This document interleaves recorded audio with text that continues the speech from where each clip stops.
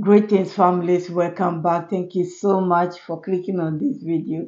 If this is your first time, my name is Mambi and this video is about a quick update in Kenya. What is going on? Kenya has been, Kenyans, the youth in particular, has been demonstrating for few days now. We are heading towards one week since this demonstration started because of the financial bill that they want to, or the budget that they want to bring out. And the youth says, no, no, no, we are not going to accept this. We want jobs instead of increasing taxation.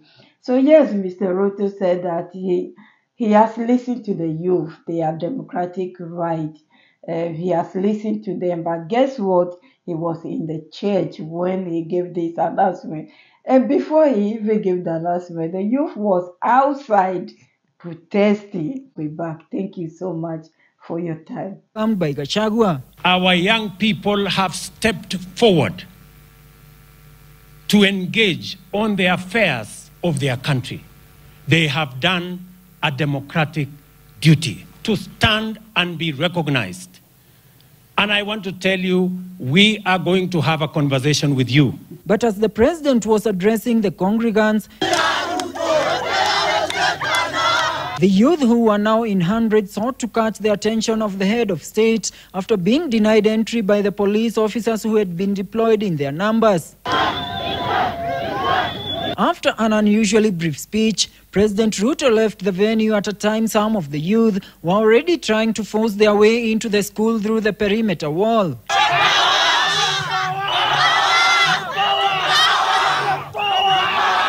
Other politicians also sneaked out of the venue. wow, Mr. Ruto ran away.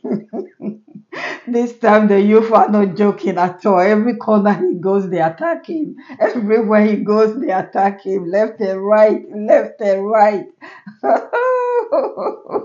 I'm so sorry. It's just like we warn him. I can say we warn him. He should have listened to us, but no, he didn't. So this is what is going on. Some of the youth took it to another church to protest. While they were preaching, they stood up. They said they should reject the bill. I said, what? Nowadays is not easy. This, this time, like one of our ladies, uh, Ghanaian lady, TikToker, I don't know whether she has YouTube channel or not. I should research her a bit more. I I must have that video here. If not, I will look for it. She has warned the leaders. She said that these days is not like it was before. Because of internet, our leaders should be very, very careful of what they do because if they steal, we'll find out. Whatever they do, we'll find out. And when we find out, we will come out and talk about it and the whole world will hear about it. So they should be very, very careful. The game has changed. I wish I would find that video. Yes, families, I managed to get that video. I dig it out from somewhere. Please listen to it yourself. What our sister is saying. She's warning the leaders. It's just like what is happening in Kenya now.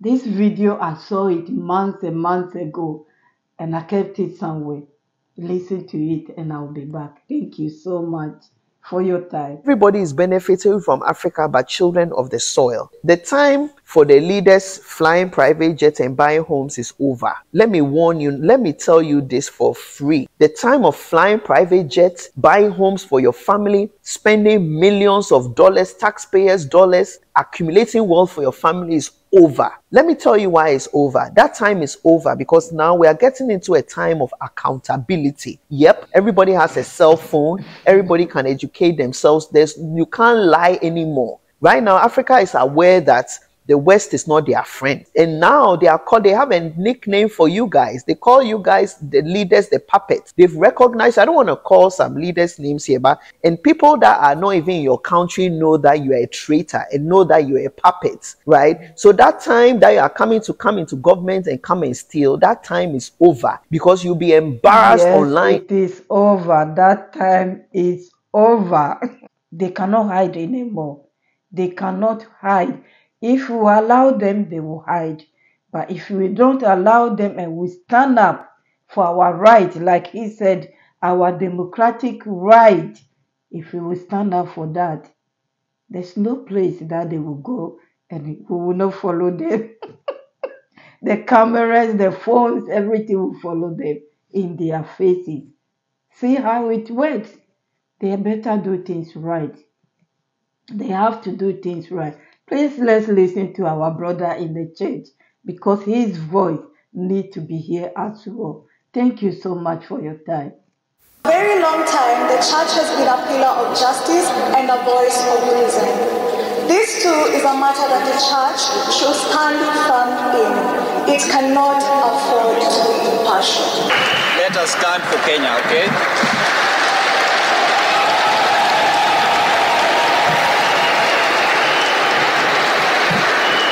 Reject the finance bill.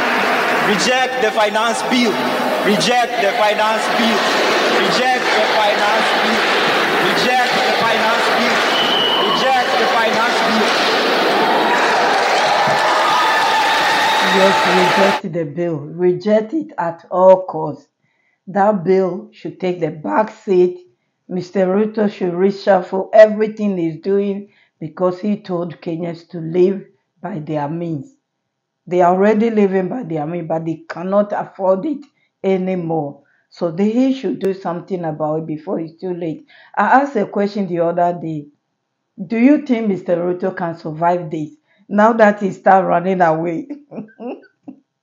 can he survive? If he survive this, he can survive anything that comes his way. The youth have enough. They are the generations of any country.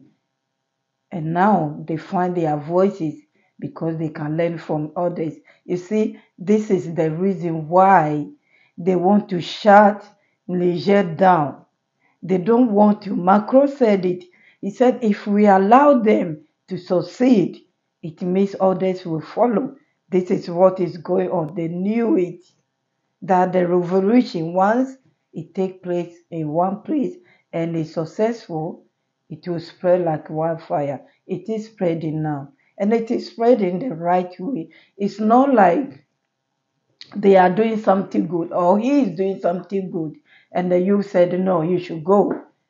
He is doing everything the wrong way, almost everything the wrong way. Because if he's doing the right thing, they will be cheering him up.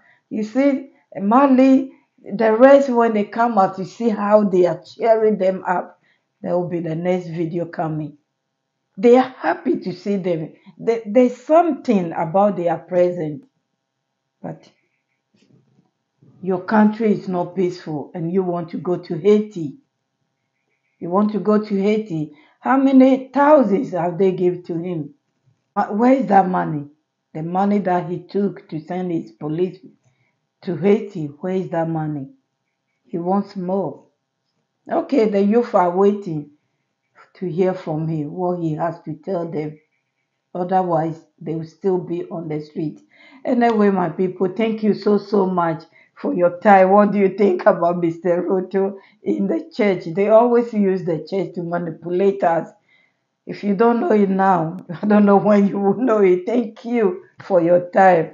Please, my returning subscribers and my new subscribers, I appreciate you all. Those who are passing by, please consider subscribing to support your auntie, your sister, your mom.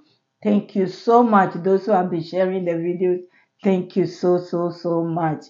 Thank you. God bless you. Have a wonderful day. And I'm back with a video from Mali or Burkina Faso. One who will follow this. Bye bye. See you.